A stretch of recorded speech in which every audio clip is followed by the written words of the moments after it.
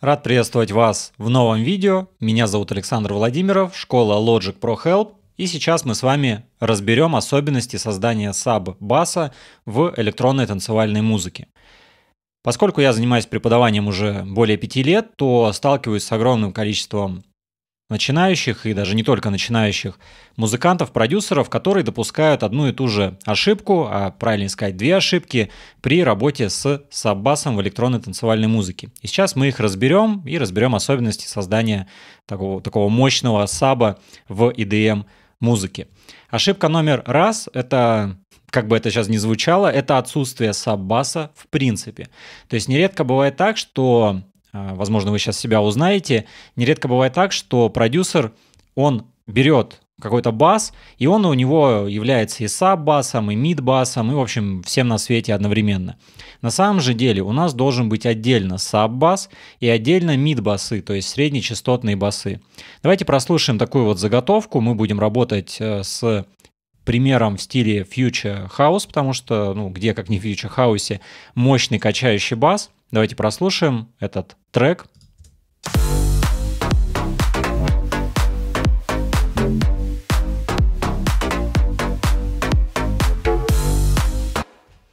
И теперь что мы сделаем? Мы разберем, как созда... вообще как создан здесь бас. Бас, э, ну давайте вот здесь у нас первая нота заменена на такой вот брас. Я его обычно так называю, EDM брасы. Мы вернем здесь вот так вот поставим сюда, то есть у нас вот эта нота была заменена на вот этот брас, соответственно, этот брас мы удалим, а здесь, э, наоборот, чуть-чуть продлим, чтобы у нас э, появились дополнительные ноты, которых ранее не было. Теперь все будет гораздо лучше. Окей, у нас э, есть мид-бас, есть саб-бас. Вот этот бас у меня выполняет роль саба. А вот эти вот все басы, да, их здесь достаточно много, 6 штук, они выполняют роль мид-баса. Они все уведены в единую группу, которая является басовой группой. Если мы выключим сейчас вот этот вот бас, который у нас э, именно сабовый, то мы можем услышать и увидеть, что низких частот у остальных басов нету, потому что это мид-басы.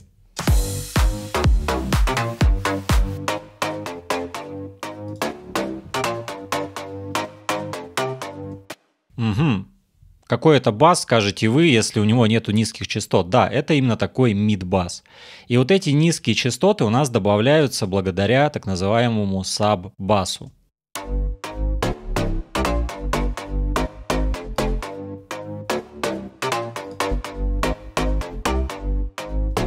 Разница очень такая существенная, да, согласитесь. Можно было бы, конечно, не использовать этот саббас можно было бы не срезать на каждом из мидбаса низкие частоты. На каждом мидбасе я срезал низкие частоты до 150 Гц. Этого можно было бы не делать. Но если э, оставить вот так вот без э, этих срезов, то все 6 басов э, с несрезанными низкими частотами дадут совершенно, ну, стрёмный и в кашу вообще просто кашеобразный низ, который совершенно не будет звучать, он не будет плотный, он не будет мощный. А новичку часто кажется, что, ну, блин, там куча низких частот, все звучит круто. На самом деле не звучит круто, звучит просто в каше, но Видимо, в силу пока что еще а, не самого такого, да, может быть, прокачанного слуха, кажется, что так звучит лучше. Ну и в конце концов, многие просто не знают о том, что есть отдельно SAP. Поэтому вот таким вот образом мы срезаем низкие частоты, чтобы у нас за низкие частоты именно в самом вот в самой группе баса отвечал только вот этот вот SAB, который мы можем даже так и назвать, SAB бас. То есть, иными словами, последнее, чтобы вы прям максимально поняли, для чего это делается. Я всегда привожу такой пример. Вот в компании, даже скорее всего, в которой вы работаете, есть бухгалтер. Бухгалтер чем занимается? Ну, как ни странно, бухгалтерией. Так вот, представьте себе, что э, все остальные сотрудники, возможно, даже включая вас, будут заниматься ну, своей работой и плюс еще бухгалтерией.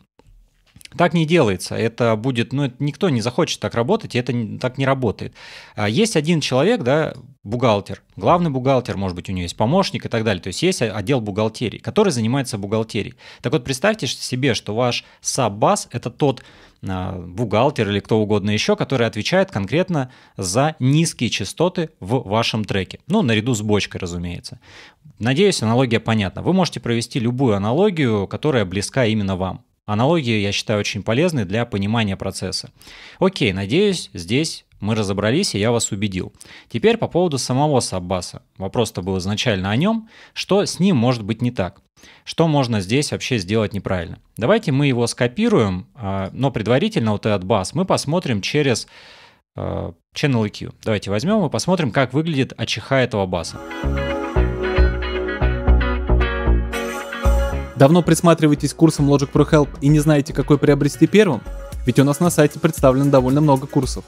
Но теперь все стало гораздо проще. Мы подготовили для вас курсы оптом со скидкой, объединенные общей темой. Если вас интересует быстрый старт изучения Logic Pro, аранжировка, сведение или мастеринг, теперь вы просто можете выбрать соответствующий комплект и быть уверенным в том, что получите самые полные и исчерпывающие знания по интересующей вас теме и по очень привлекательной цене. Переходите по ссылке в описании к этому ролику и забирайте свой комплект курсов прямо сейчас.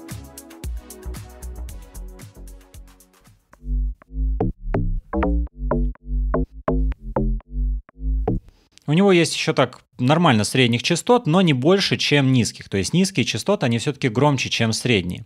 Ошибка, которая очень часто бывает у тех, кто пишет музыку относительно недавно, а, эта ошибка заключается в следующем. А, мы просто-напросто берем, давайте я покажу на примере Элхими, например, родного инструмента.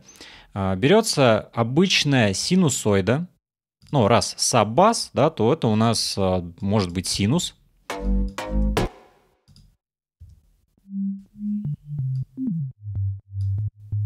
Ну, например, вот такой вот. И если мы посмотрим все то через тот же Channel EQ, ну вот они низкие частоты. Это же саб-бас. Соответственно, у него, ну, в общем-то, должны быть только низкие частоты. А средние частоты быть не должны. Ведь за них, за эти частоты, отвечают, отвечают мид-басы. Не так ли, да? Вроде следуя логике, о которой я рассказывал раньше, это так. Но на самом деле это не работает. Эта логика здесь никак не вяжется. Если у вас будет вот такой вот бас, который абсолютно а, пустой и имеет только низкие частоты, это не будет качать, каким бы громким вы его ни делали. Это работать не будет.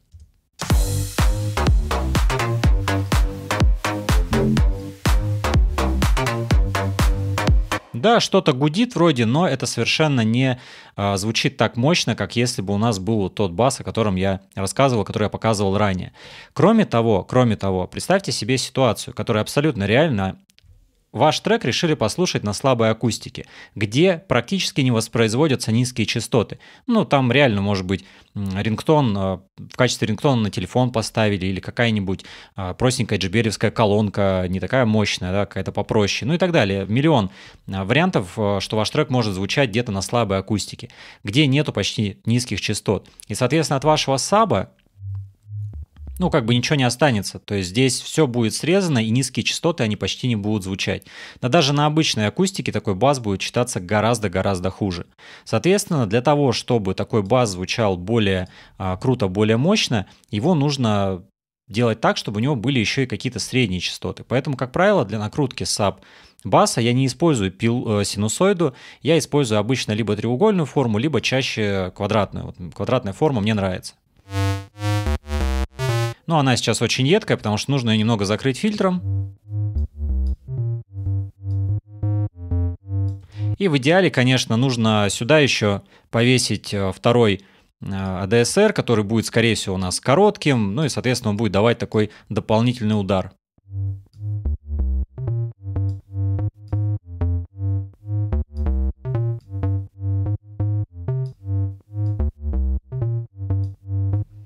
Все, у нас есть средние частоты, есть низкие. Вы можете не переживать, что средние частоты будут там как-то конфликтовать. Нет, этого не будет. Еще одна ошибка, которая часто, тоже еще даже чаще бывает, это то, что вроде бас изначально-то вполне себе хороший. Ну, типа такого. Но, опять же, следуя логике, ну раз ты саб-бас, значит не видать тебе никаких других частот, кроме низких. И берут и вот так вот срезают. О, и считают, да, что это SAP. По факту, конечно, это еще даже отчасти хуже, чем синусоида, ну, хотя примерно одинаково по а, скажем так, негативному исходу, вот так вот тоже делать ни в коем случае не нужно. Крайне не рекомендую. Это убьет вообще все в вашем миксе. Абсолютно.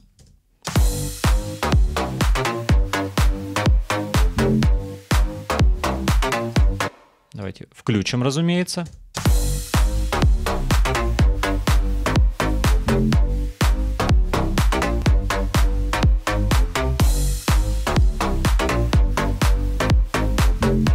Разница есть, и она ощутима.